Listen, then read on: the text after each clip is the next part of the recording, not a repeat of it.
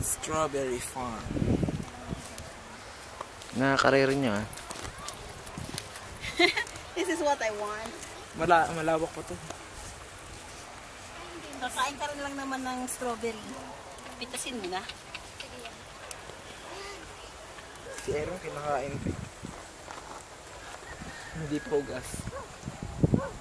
Ang sakit na. Hanggang kailan,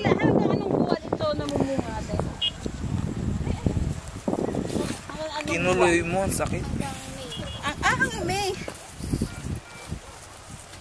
Eh, dumating tayo mga June yata. August. May tangklik. Wala nang bunga. ang mahala ng ano.